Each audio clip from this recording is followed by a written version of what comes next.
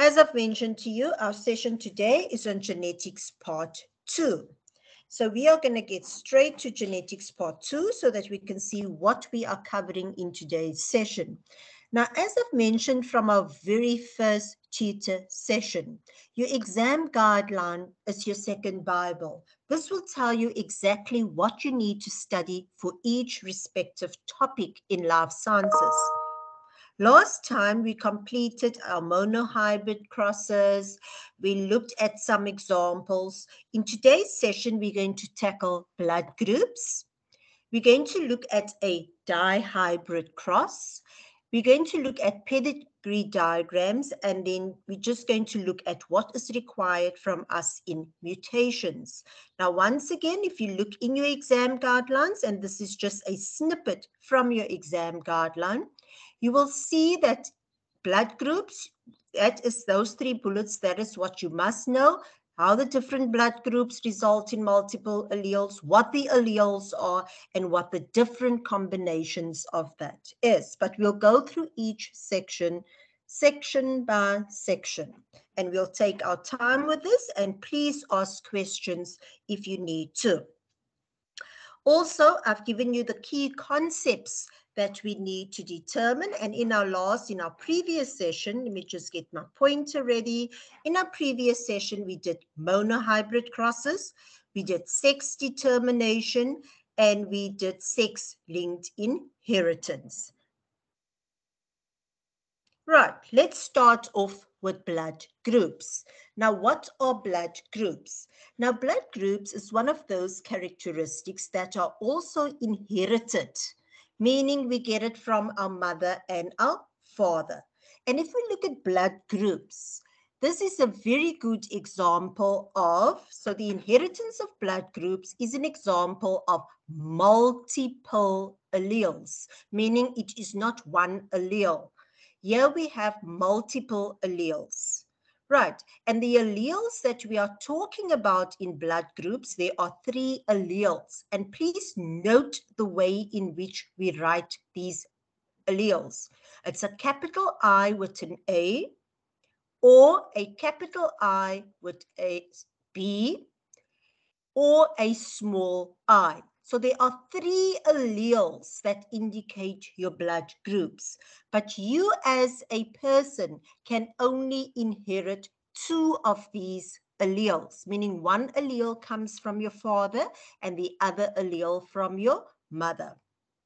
So the different combinations of these result in four blood groups. Now, one year in the exam, they ask learners to explain how it's possible that different blood groups can be formed from your alleles.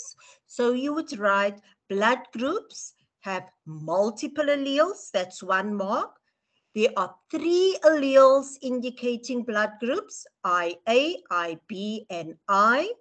Different combinations of these uh, alleles result in four blood groups. Now, we like to call the blood groups the one, two, three, four rule. If you know this rule of blood groups, you won't make a mistake. What does the one stand for? One, an individual has one blood group, or you have blood group is determined by one gene. What does the two stand for? An individual has two alleles for their blood group, meaning one allele from the mother, maternal, one allele from the father, paternal. There are three different alleles controlling blood groups. And what are the three alleles? We've mentioned it here in the second bullet, IA, IB, and small i. And that results in four blood groups. Now, if you know the one, two, three, four rule, one, you only have one blood group. You can't have blood group A and blood group B. You only have one blood group. Blood group is controlled by one gene. How many alleles are present in your blood group? Two alleles. How many different, now please note, you only have two alleles in your blood group. But how many different alleles control blood groups? Three alleles. And those are the three alleles. And what are the different blood groups that we get? There are four blood groups. Now, the inheritance of blood group display both codominance and complete dominance. And it is important to understand the difference. And I will go through the difference now. And please note the only notation, meaning how do we write um, the pattern for blood groups, IA or IB and small i. That's the only notation accepted. Right. So let's go through blood groups. How many blood groups do we have? We have four blood groups. We refer to your blood group as the phenotype. Okay, so you're either blood group A, or you are blood group B, or you belong to blood group AB or blood group O. You can't have all four of them. You have one of the blood groups. But how many blood groups are there? Four. Um, what is the genotype for blood group A? Now, if a person is homozygous, you'll still remember the prefix homo, meaning the same. Both alleles are the same. Can you see I've got IAIA. That is homozygous for blood group A. You have complete dominance, okay? If you are heterozygous, meaning you can IA, small i from one of your parents, you still are blood group A, meaning IA is dominant over the small i. So can you see how we can have complete dominance in blood groups? So if they ask you, write down the genotype of a person that is homozygous for blood group A, your answer is IA, IA, that one there. If they ask you, write down the genotype of a person that is heterozygous for blood group A, your answer is IA, small i. If they give you this genotype and they say a person has genotype IA, small i, what is their blood group? The blood group is blood group A. Is this an example of codominance or complete dominance? It is an example of complete dominance. Can I just ask everyone to please mute their mics? Thank you. Then we go to blood group B. Now, blood group B, the same. The person can be homozygous for blood group B, then it's IBIB, or they can be heterozygous for blood group B, then it is IB small i, where IB is completely dominant over small i. Now, here's an interesting example. A person can have blood group AB, meaning you get allele IA from your mother or father and blood group, sorry, allele IB, meaning the person is heterozygous. This person cannot be homozygous if you blood group AB. You can only be heterozygous. So none of these two alleles are dominant over the other, meaning we have co-dominance between IA and IB. That takes us back to our previous question where we said the inheritance of blood groups display both codominance in blood group AB and complete dominance, okay, where the capital A is dominant over small i. Blood group O, there's also just one genotype, and that is small i, small i complete dominance. Okay, I hope that is clear. Just remember, just to emphasize again, in blood groups, you have the one, two, three, four rule. What does the one stand for? There's one gene that controls blood groups, and you can only have one blood group. What does the two stand for? A person has two alleles for their blood group. What does the three stand for? You have three different alleles that controls blood groups. And what does the four stand for? You get four different blood groups. This can easily be asked as a question where they can ask you, how many genes control blood groups in humans? One gene. How many alleles, how many different alleles control blood groups? Three different alleles, okay? So please make sure you know that. Right, so let's have a practice question with blood group. I hope that was clear.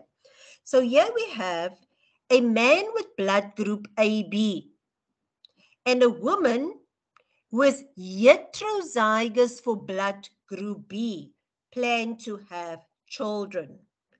How many alleles, question one for one mark, how many alleles control the inheritance of blood groups? They're not saying in this example, they want you to they ask you in general how many alleles control the inheritance of blood groups.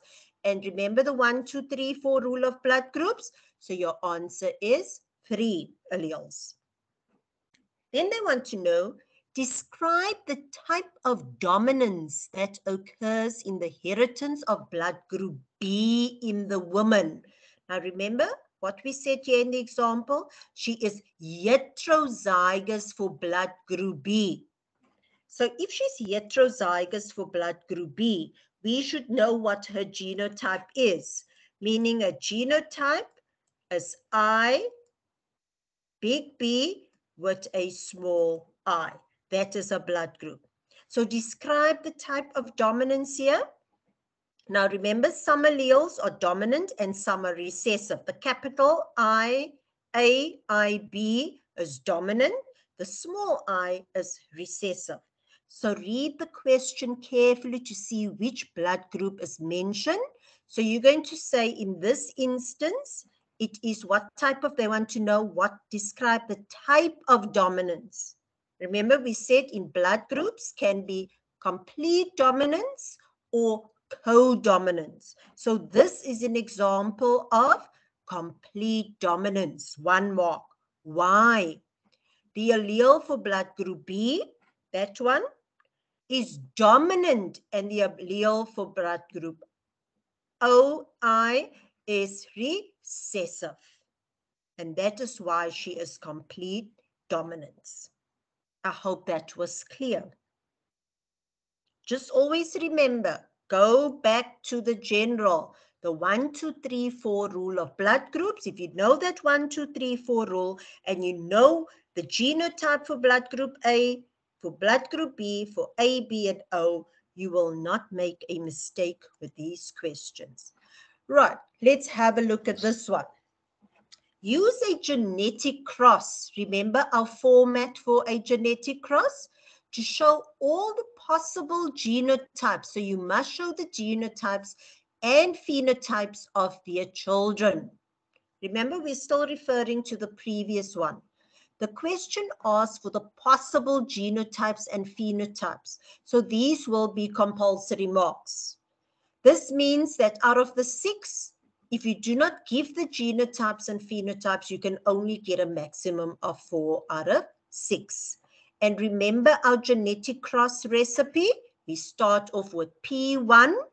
What is the phenotype of the male? And if we go back to the example, there we can see, we said a man with blood group AB. So that is where we start. So it's blood. You don't have to write man blood group. So it's just blood group AB because that's his phenotype. Is crossed with a female, which is blood group B. Next, we need to write down the genotype. And very important, you can't just write blood group AB crosses with blood group B. You're not going to get your mark. Your mark is for this whole sentence. And this is why learners lose marks for genetic cross. So your P1, you first write down the phenotype. You determine the phenotype.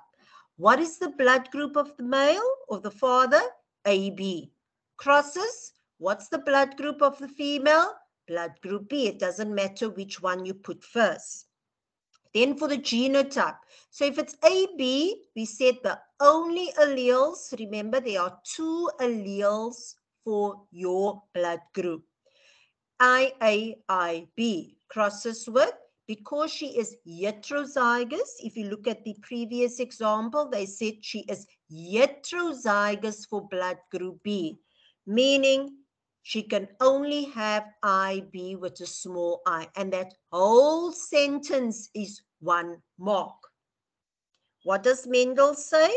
When we have alleles, meiosis forms, takes place, sorry, and we form gametes. And according to Mendel, when gametes are formed, they separate. So if these two separate for gametes, well, one gamete in the male would be IA, the second gamete would be IB.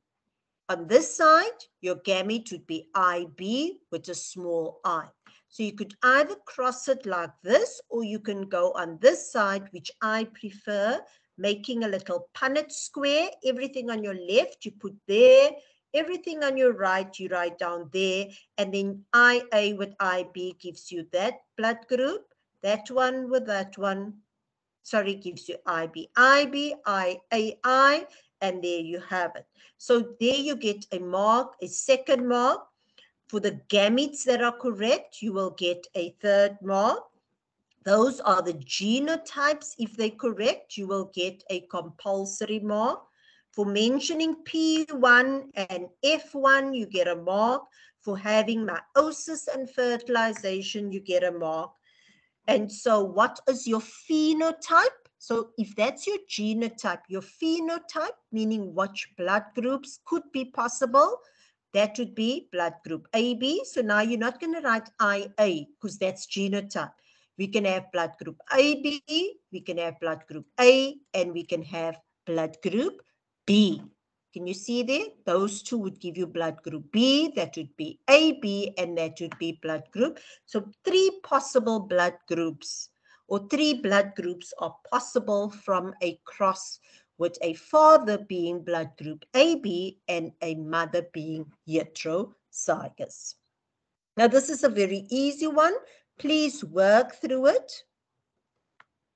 Let's go to our next example. Apologies. The table shows the blood groups of the members of a family. So there I have father, mother, daughter, son one, and son two. Two of their children, so that's the father, that's the mother.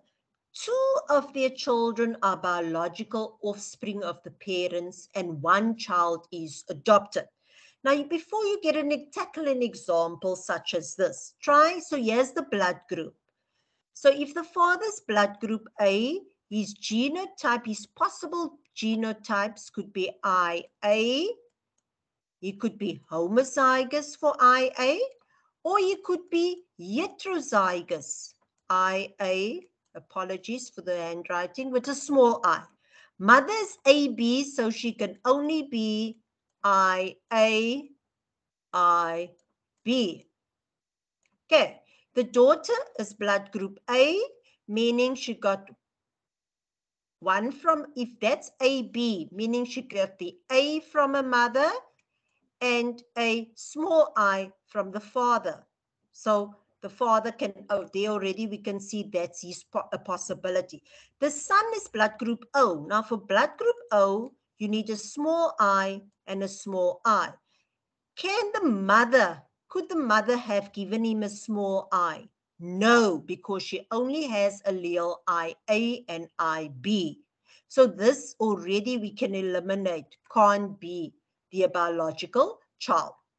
Son 2, blood group B, he could get that from his mother and that allele from his father, meaning he can only be that.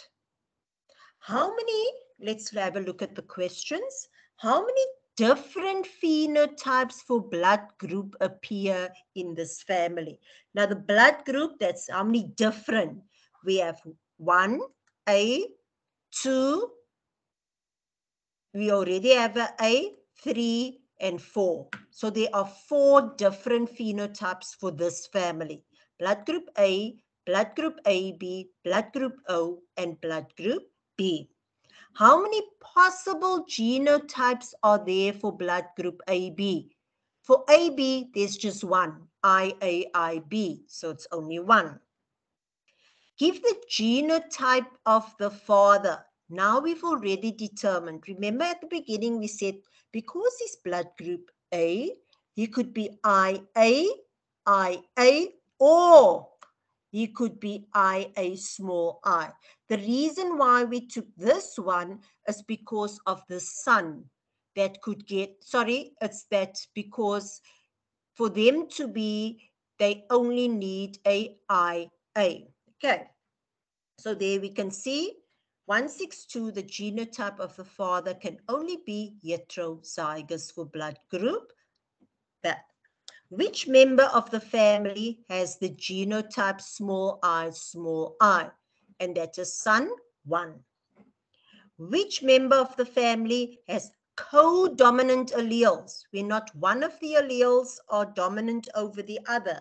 And we know from our previous information, it is the mother.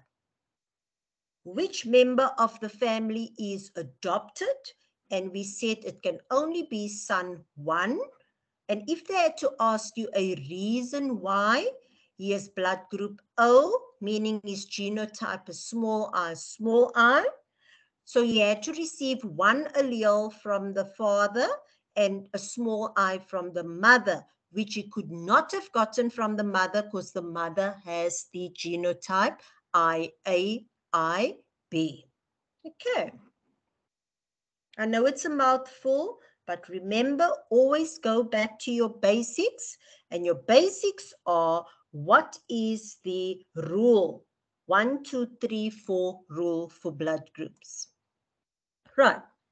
Now we're going to try this one on our own. So they say a man with blood group AB.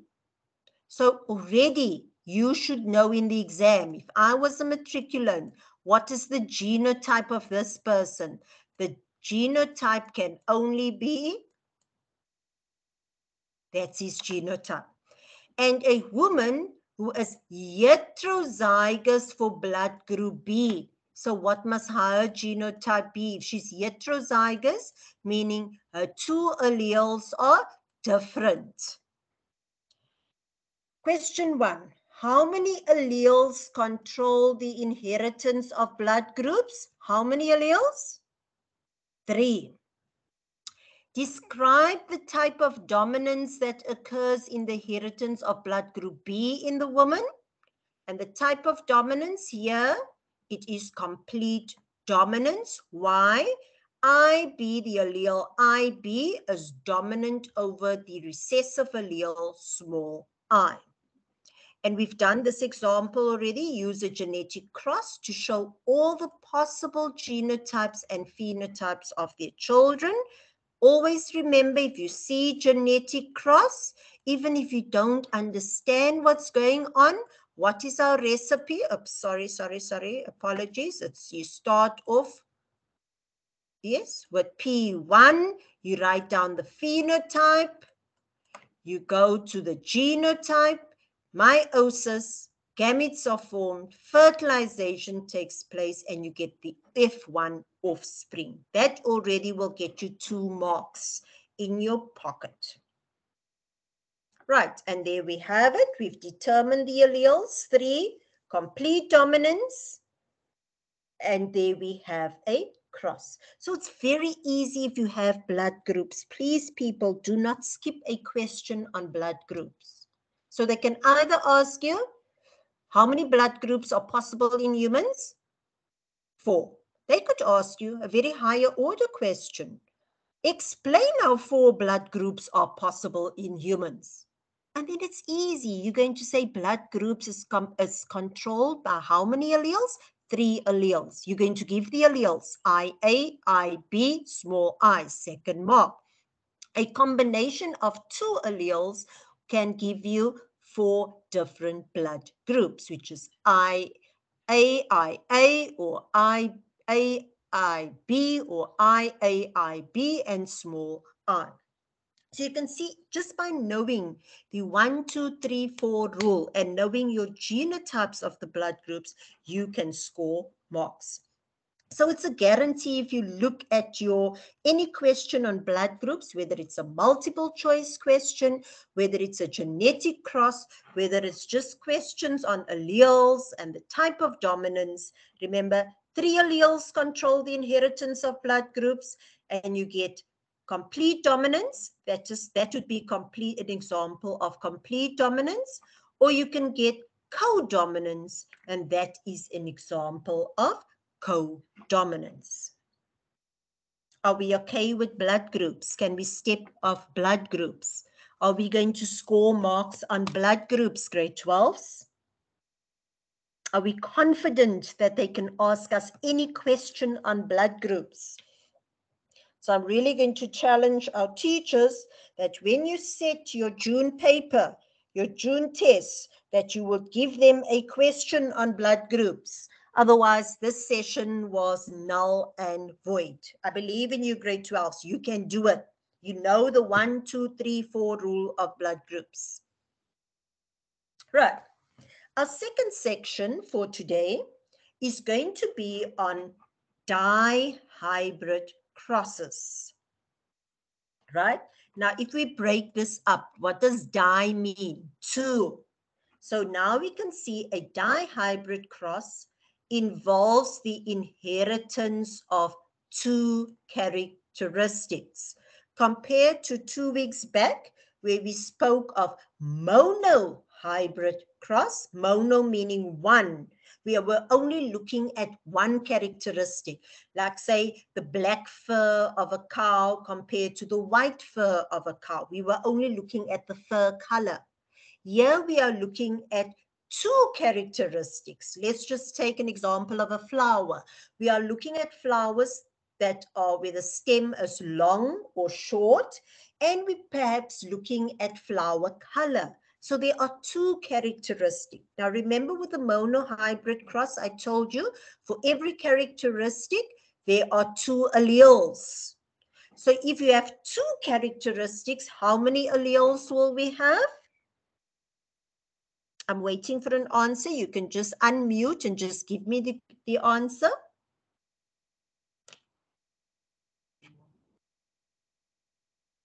Four. Ah, you guys are the best. You are the best, grade 12. We will have four. Thank you. So, Mendel then explained, and remember who Mendel was? Gregor Mendel is the father of genetics right? He explained the results of a dihybrid cross according to the law of independent assortment. If you remember back two weeks, we said Mendel had three laws. The law of dominance, where if you have two homozygous individuals, the all the offspring in the first generation will have the dominant characteristic but in the heterozygous state. We also had mendel's law of segregation where he said for every characteristic we have two alleles apologies and the two alleles separate with, during meiosis when gametes are formed. So just to show you um, in monohybrid cross, let's say black fur, I'm just giving you an example. There's my, I have two alleles. And according to Mendel's law of segregation, these alleles separate during meiosis when gametes are formed. The third law of Mendel is the law of independent assortment.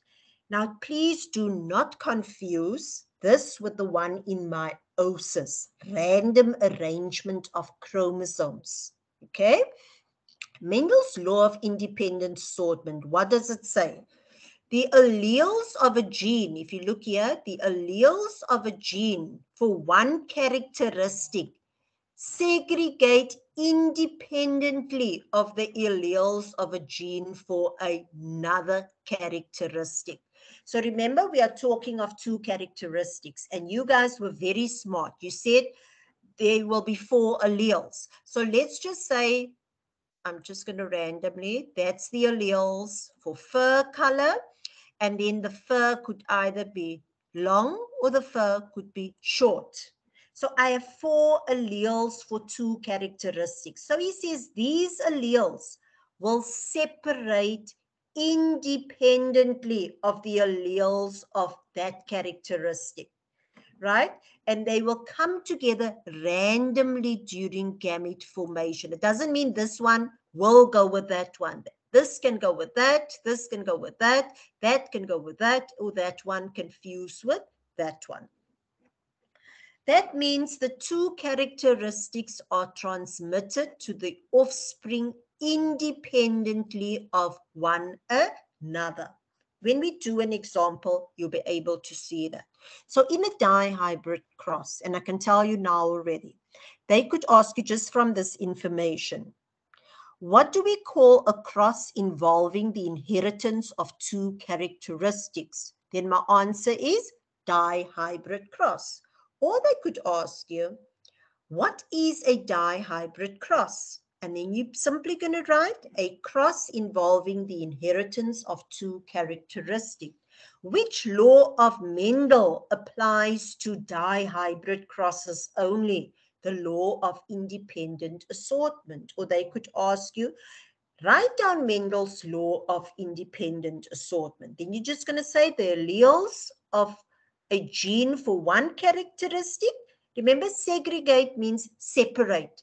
And very important here, they separate independently of the allele of a gene for another characteristic. Right, so let's continue.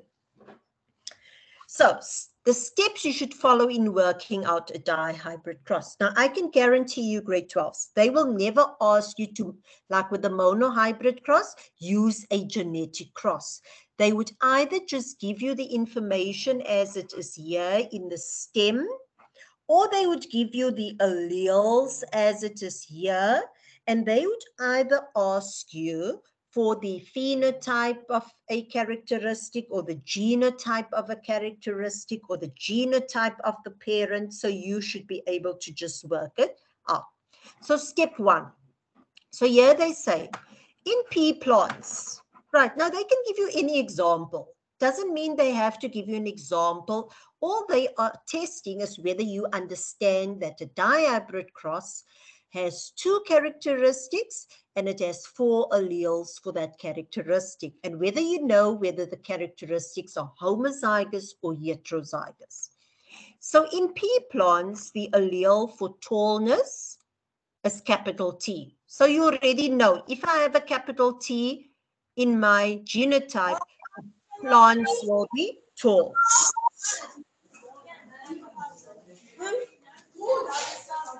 Can we just pause? Thank you very much. And the allele for shortness, small t, is recessive. Right. So if a plant is homozygous tall, it can be homozygous tall, meaning the genotype will be big T, big T. Or the plant can be um, heterozygous tall, meaning big T, small t. So that's the possible genotypes for length of the plant. So the characteristic that we're looking up here is length, tall versus short. But then we're also looking at the flower color. Purple flowers is dominant and white flowers is recessive, meaning if I have a big P, big P, I can get purple flowers or I can get purple flowers from a big P, small p. Those are purple flowers. And the only time I'm going to get white flowers is a small p, small p. So if I ask you, if I give you this stem here and I say in pea plants, the allele for tallness is dominant over the allele for shortness, purple flowers is dominant over white flowers. And I ask you, what type of cross is represented here? It is a dihybrid cross. Why? We are talking about the inheritance of two characteristics. And what are the two characteristics?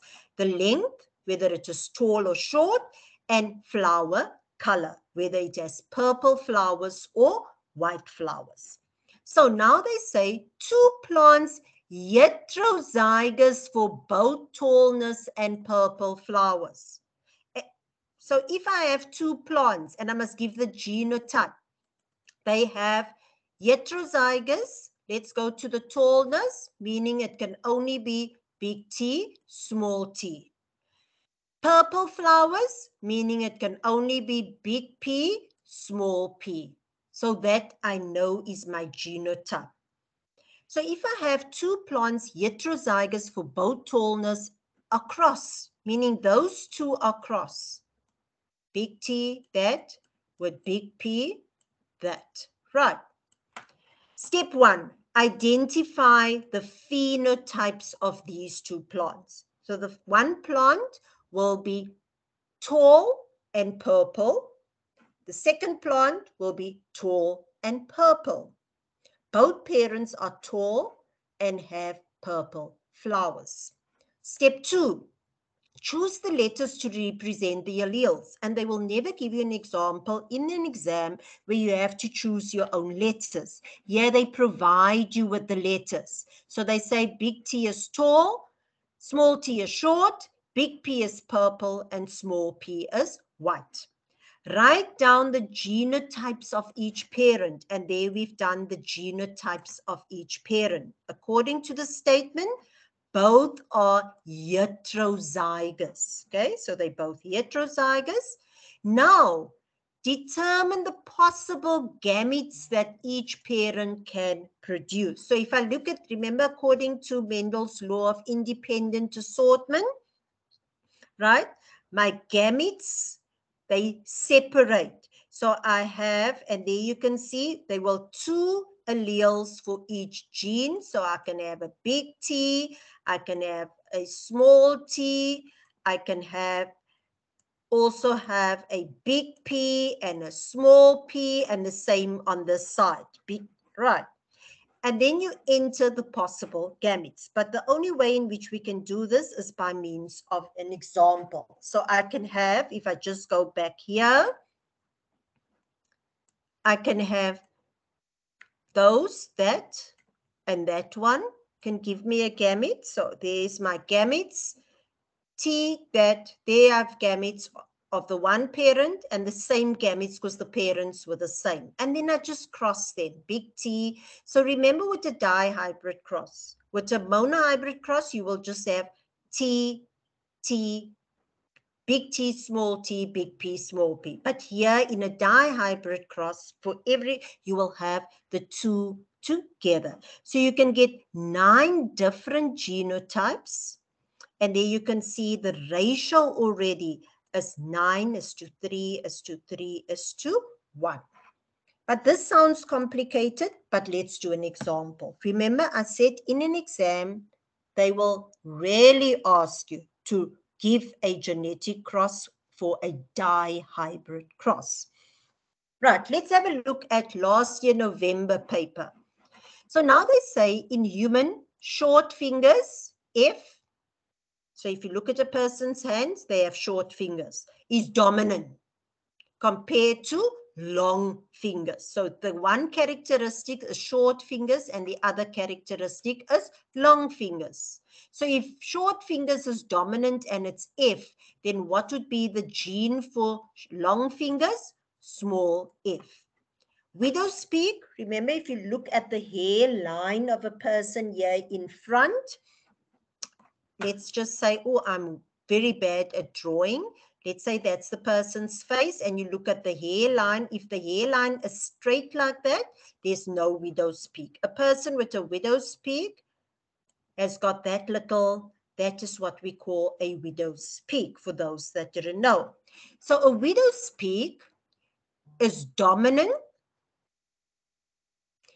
over a continuous hairline. So the hairline is just continuous. So that would be small h. Now they tell me a man and a woman, both heterozygous for the two characteristic.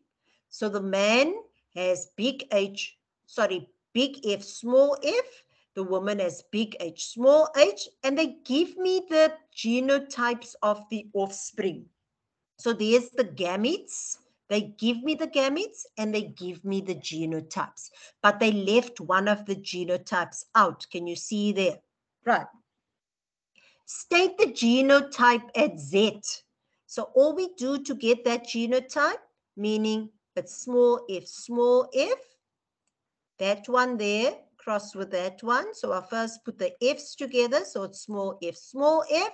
And then I have a capital H, and I always write the capital first and a small h. So there is my genotype.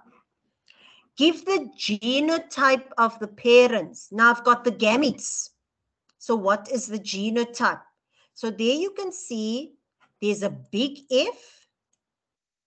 They heterozygous for the two characteristics. So being heterozygous, for that would be for the fingers.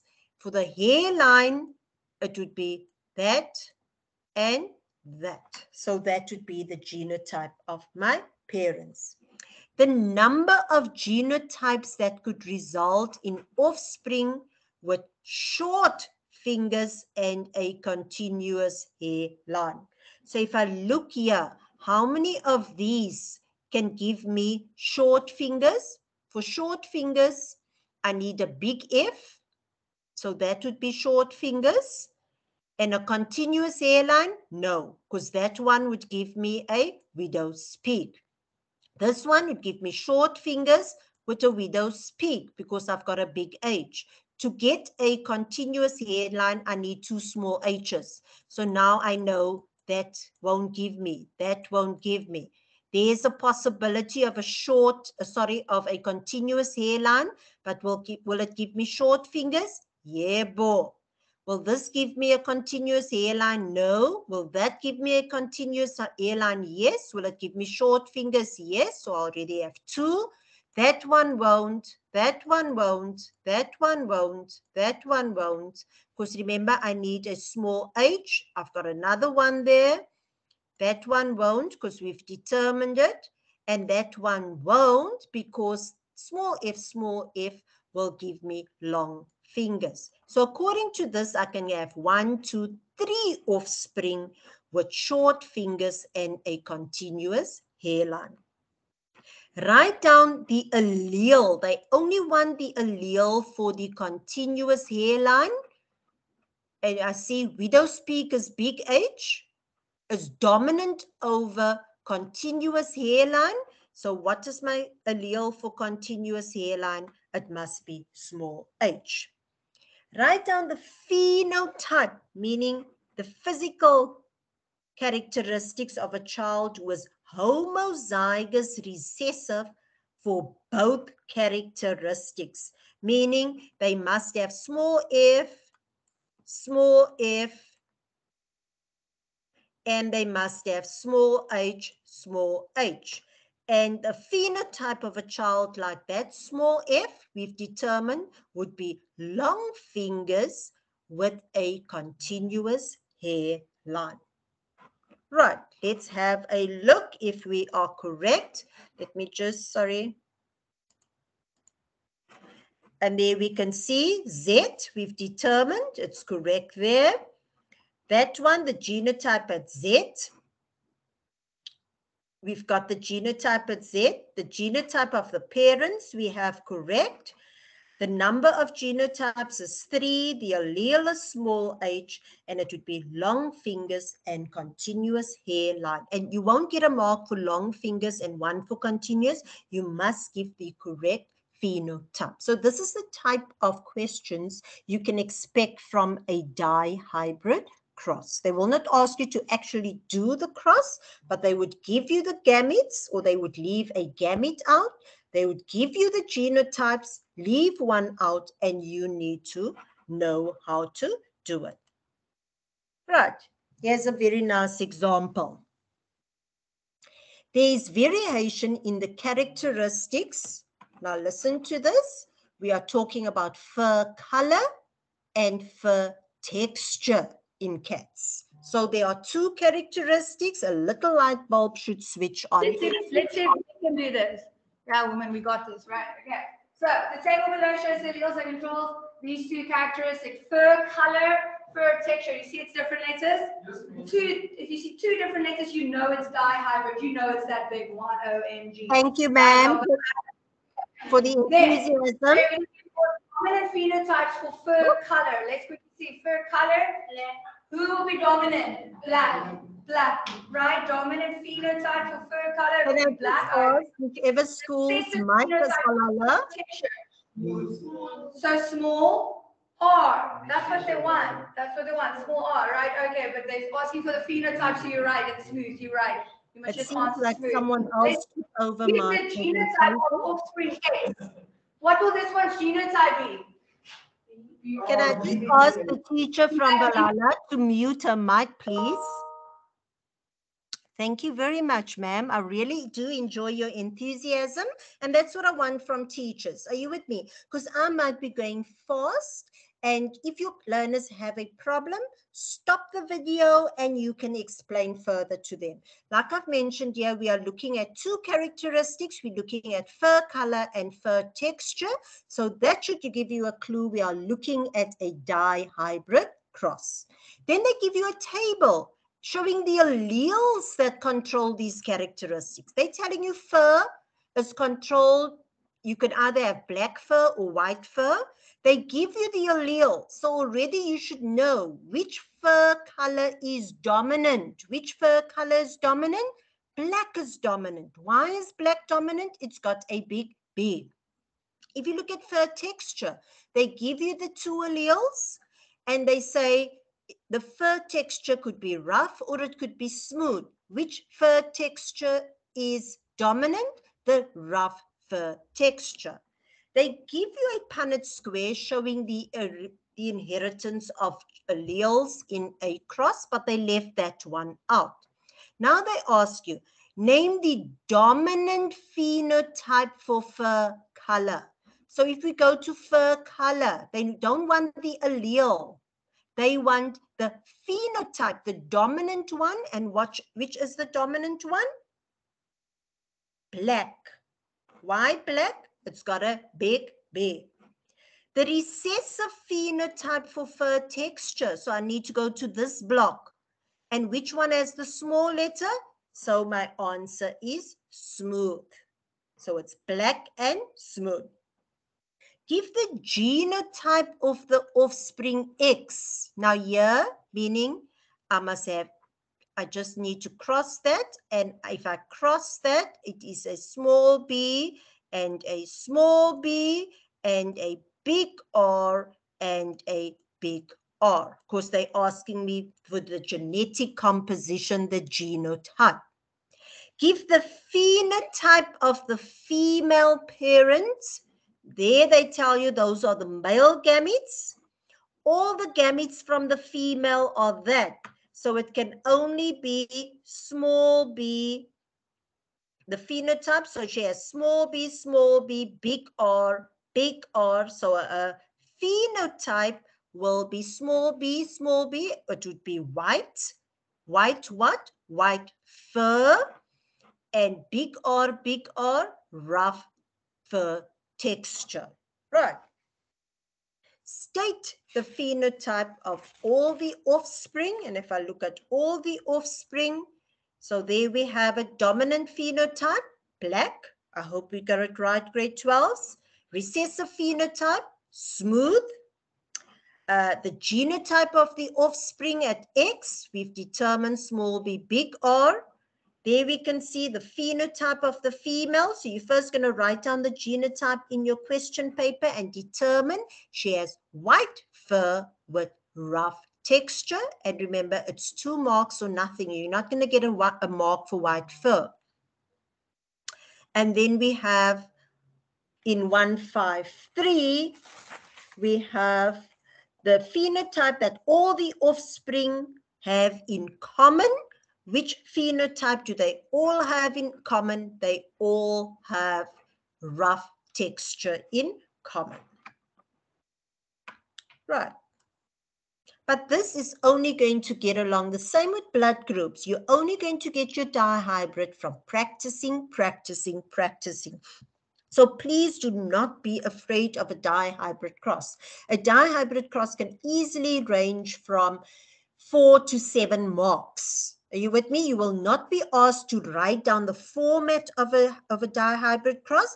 They will give you either the genotypes, they will give you the alleles, they'll give you the gametes, something will be missing and they will ask you short questions on that. So if you know your work, grade 12, it's easy to score marks. Do not be afraid. Do not be intimidated by the question.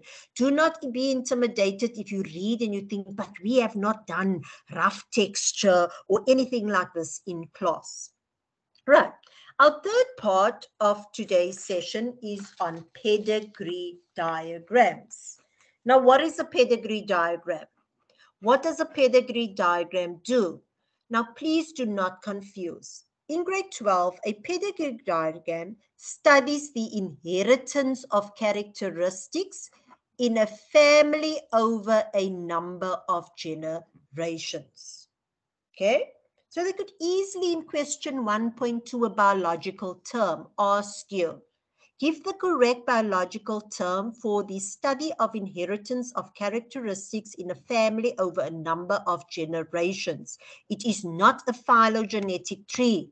It is a pedigree diagram. Then my answer is pedigree diagram. Okay? Remember, phylogenetic tree shows evolutionary, whether it has a common ancestor. Um, before I get to the steps when interpreting a pedigree diagram, you must look at the opening statement and look for dominant and recessive characteristics and phenotypes. Right, so let me first show you this is what a pedigree diagram, a diagram such as this, it shows the inheritance of characteristics over generations rations.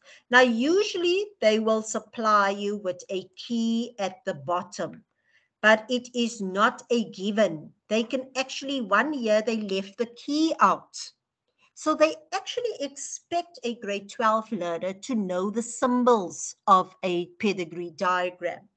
Your squares always represent your males. Your circles in a pedigree diagram always represent the females. This horizontal line, sorry, if it is unshaded, it usually shows that they do not have the characteristic. If it is shaded, if it's a genetic disorder, it usually shows that they are affected by the characteristic. Okay, this horizontal line between the male and the female, that represents, sorry, yes, the horizontal line shows that they have mated, they have reproduced. And in this case, that would be my first generation, that would be my second generation, and that would be my third generation. So they could ask you, if I give you a pedigree diagram such as this, I could set a question such as, how many generations are represented by this pedigree diagram? Then my answer is three generations. Okay. How many males are represented in this family? How many males? One, two, three, four, five. I did not ask how many males are affected. I said how many males. How many females? One, two, three, four, 5. Now the key here says, if it's unshaded, the males have blue eyes. Unshaded, the female has blue eyes. If it is shaded, there are brown eyes and brown eye females. So I could set a question and ask, how many family members in this pedigree diagram has brown eyes? I didn't ask how many males or females. I asked how many family members has brown eyes. One, two, three, four, five have brown eyes. So you must be able to understand a pedigree diagram. They also tell me here, we are looking at the inheritance of eye color. Over here in this example, they tell me there are three generations. They tell me that brown eye color is dominant over blue. Okay. Study the diagram and answer the questions. Remember I said squares represent male, circles represent females. That means they've mated. The line going down represents their offspring. So Joshua and Ronel had children. How many children did Joshua and Ronel have? They only had two children. What are the names of Joshua and Ronel's children? Sarah and Peter. I hope that's clear. Veronica, Peter then went on. Their son married Veronica. And how many children did they have? One, two, three, four, five kids, of which two girls and three boys. I hope we understand how a pedigree diagram works. Right, so let's continue. How many members of the family have blue eyes? Remember, they didn't ask in the first generation how many members in the family have blue eyes. So blue eyes is unshaded. So it's one, two, three, four, five family members have blue eyes. And there we can see our answer. Is Veronica homozygous or heterozygous for eye color. So let's go back. Who is Veronica? Now, Veronica, if you look, she's a female and she has, according to the key, she has blue eyes. And blue eyes is the only way in which you can have blue eyes. The only genotype for blue eyes a small b, small b. Because as soon as I have a big B, she will have brown eyes. So now they want to know is Veronica homozygous or heterozygous for eye color? And according to that, the two alleles are the same. So what is Veronica? She is homozygous. Write down the genotype, meaning the genetic composition of Joshua, Ronel, and Frank. So I need to, Joshua, where's Ronel? Ronel and Frank. And what do they want? Do they want the genotype or the phenotype? They want the genotype. So Joshua, so now I know Ronel, sorry, has brown eyes. But Joshua has blue eyes. So the only way in which Joshua can get blue eyes is he had to have small b, small b. But if both their kids have brown eyes, meaning one that one allele had to come from the dad, meaning the only way they could get that is if she was heterozygous for that. So you could have big B, small b, the big B from the mum and the small b from the dad. So they got a big B, those two from their mom. Only thing they could get from their dad is a small b. Same year, big B from the mom and a small b from the dad. That we've determined, that's why I said you determine the genotypes. And there we have our answers. Does that make sense? So now they ask you, and that's two marks for determining the genotype because there are quite a number of steps involved. If Frank marries a woman with the same genetic composition as Sarah, now where's Frank? So Frank has, he's a male with brown eyes. Right. So if he marries a woman with the same genetic composition as Sarah, meaning big B, small b, big B, small b, they want to know what is the percentage probability of them having a child with brown eyes. And we know if two heterozygous individuals, so they both heterozygous, if two heterozygous individuals cross, the chance that the offspring will have brown eyes is 75%, because there will only be a 25%, one in four will give you small b, small b. I hope we're still okay. Right, let's look at an example from a question paper. Now, that's why I said, don't look and say deafness. We didn't do deafness in class. Miss didn't teach us or sir didn't teach us deafness. Read what is given. One type of deafness as humans is carried by a single allele. The diagram shows the inheritance of deafness in a family. So here they're giving you, look at your key. So now I know according to my key, those are males. If it's unshaded, they can hear. If it's shaded, they are deaf. So already I can write here. Does is Paul, can Paul hear or is Paul deaf? Paul is deaf. Okay. Mary is deaf. So how many individuals in this family is deaf? One, two, three, four, according to the key. How many? And here we go. We know that's Paul and Lizzie. That's the first generation. The second line shows my second generation. And my third line shows my third generation. So you fill in everything that is given. How many generations are represented in the pedigree diagram? That line, first generation, Paul, Lizzie, Mary, John, they had kids. Are you with me? Paul and Lizzie had three kids right? Mary and John had two kids. Bob and Anne got married and they had three kids. So that's first generation, second generation, third generation. So how many generations? Three. How many children of Paul and Lizzie are able to hear? So that's Paul and Lizzie. Remember, their kids stopped there. They had three kids. And out of the three kids, how many kids are able to hear. And according to key, if it's unshaded, they can hear. So it means two. Right. Which phenotype is dominant? If I look here, there are more individuals that can hear. So my dominant phenotype is hearing.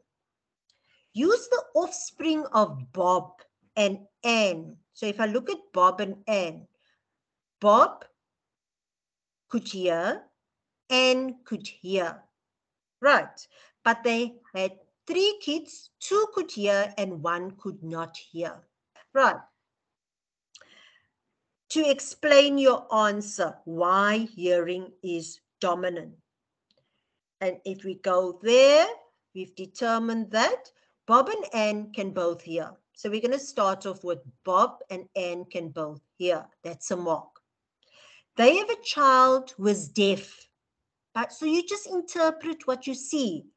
Right. They have a child that is deaf. It's another mark. So that child that is deaf had to get, because here at the bottom they're saying use the alleles big A for the dominant. So, or you could say they had the genotype small a, small a, but you could just say they have a child who is deaf.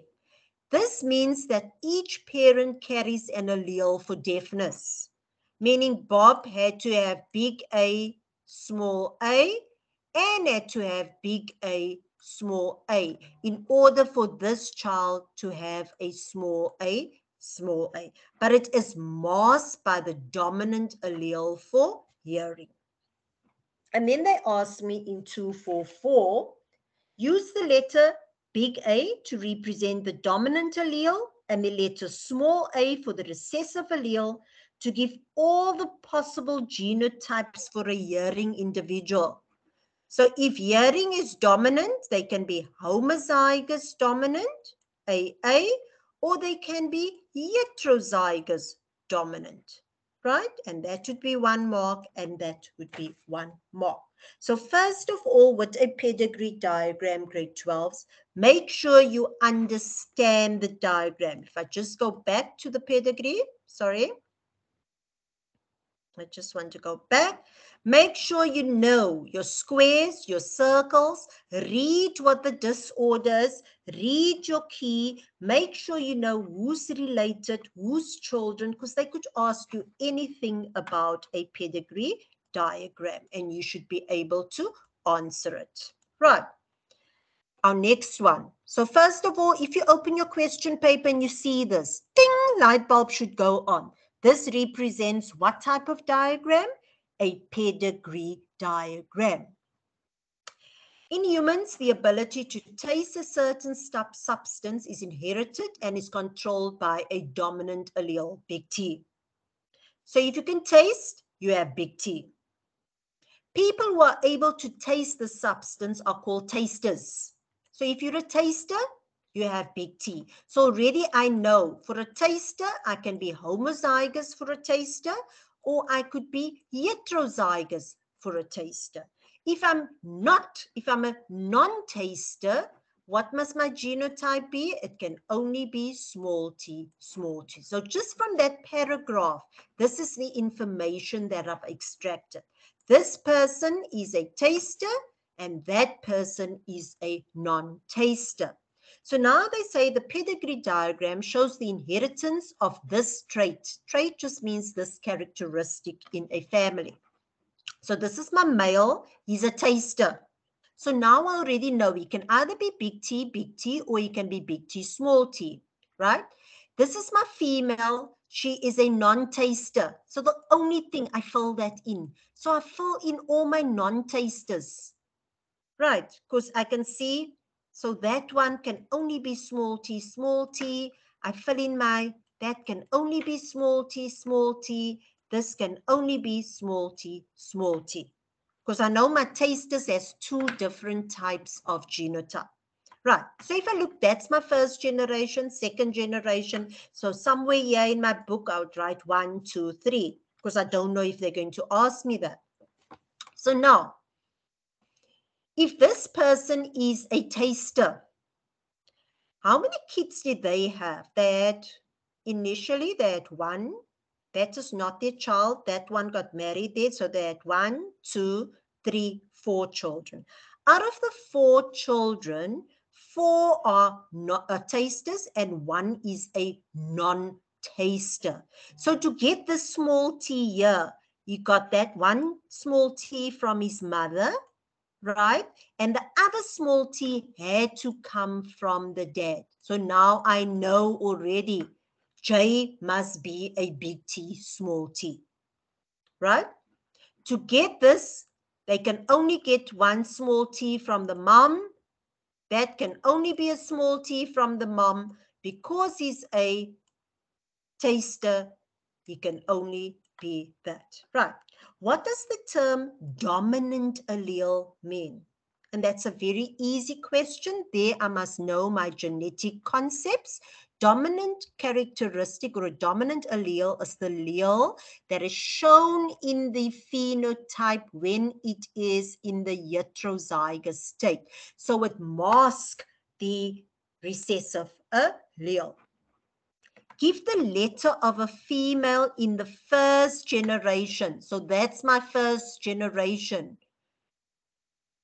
Sorry, yes, my first is a taster which one is a taster? So it can be a sheer taster. Sorry, that would be, that is my parents, that's my, my kids, the first generation of that parents, a taster, and they want a female that is a taster. And my female here is in, right? Does it make sense? She's a taster. That is a non-taster according to this. Use evidence from the diagram to support your question. Sorry, uh, 242, I've missed the genotype of individual J. So the genotype I've determined, where is it, is big T, small t. And then evidence from the diagram to support, sorry, it is cutting off here at the bottom. Let me just get my notes. Your answer to question 252 B, why do I say J is a taster? So if I look at J, where is J? Is a taster and must have one dominant, which is individual K. And there I can just, that is just understanding, interpreting my diagram for four marks. So please, grade 12s, once again, I'm going to appeal to you. I just want to go back please make sure you understand how to interpret a pedigree diagram. Right.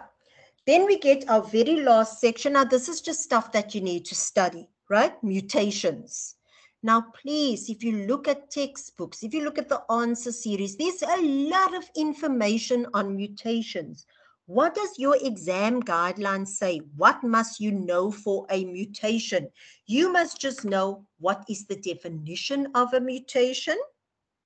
What are the effects of your mutations? Meaning mutations could either be harmful, they could be harmless, or they could be useful.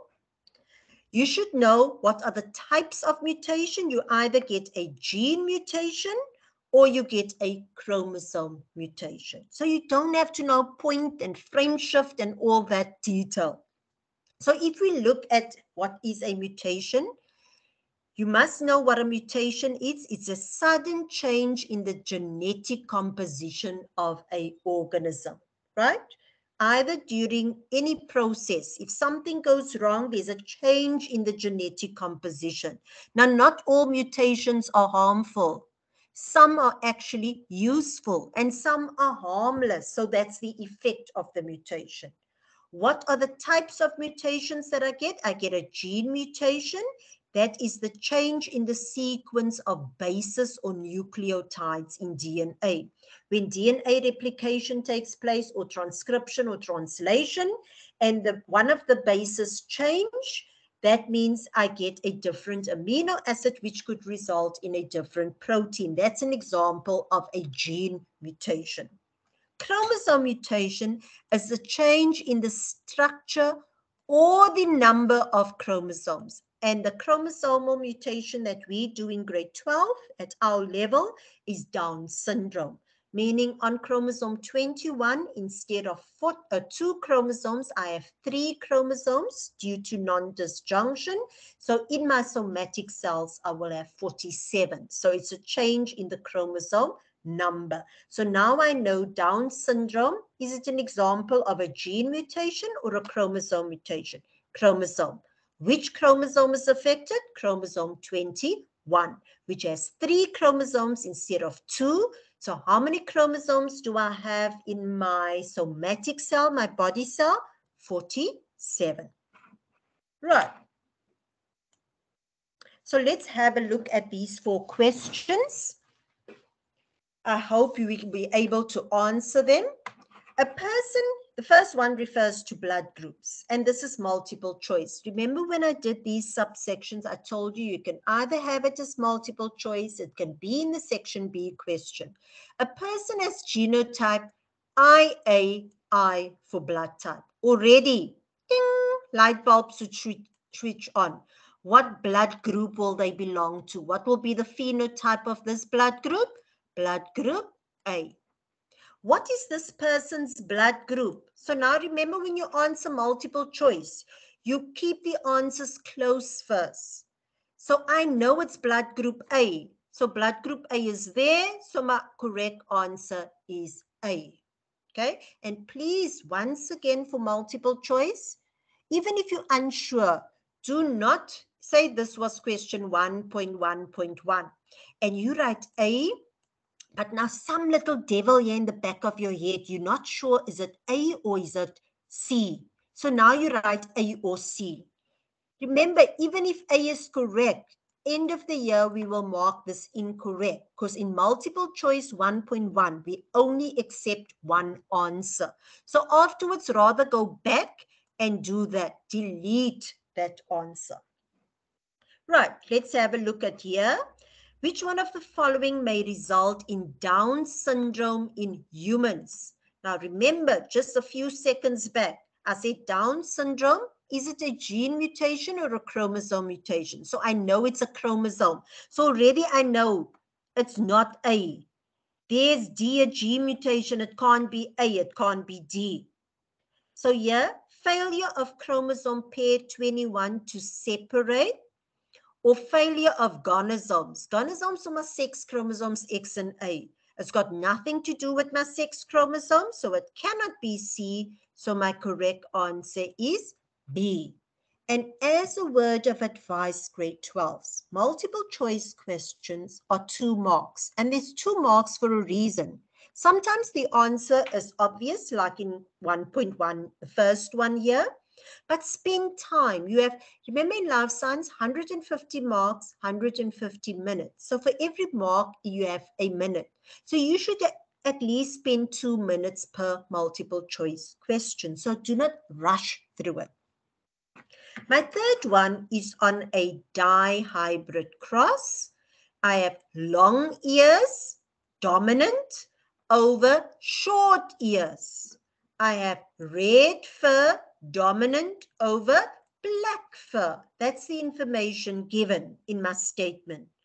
Which one of the following could represent the genotypes of the parents? Right.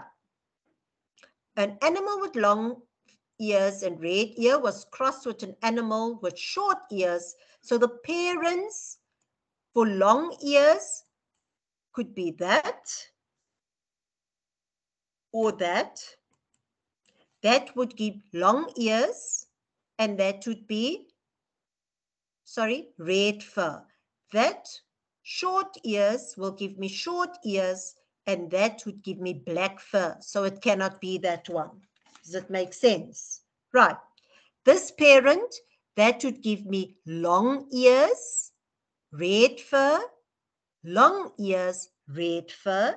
That is a possibility. Let's see. They say that an animal with long ears was crossed with an animal with short ears. So nowhere do I have short ears because that's long ears, long ears. I need another one with short ears. So that one is incorrect.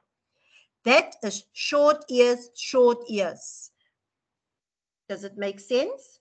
And they want to know which one is it? An animal? Where am I? The genotypes of the parents, long ears, so it had to be a long ear and a short ear. And the only way I could get long ears and short ears is if I have parent number C. A child has blood group AB, her mother has blood group A. We can reasonably conclude that the mother's genotype is that. It could be that right? The child's genotype is that. It, it can't be that one. Let's go to C. It could be that one. And a father's genotype is that. But because they've given us the mother's blood group, we already know that. So we can reasonably conclude that that should be my father's blood group.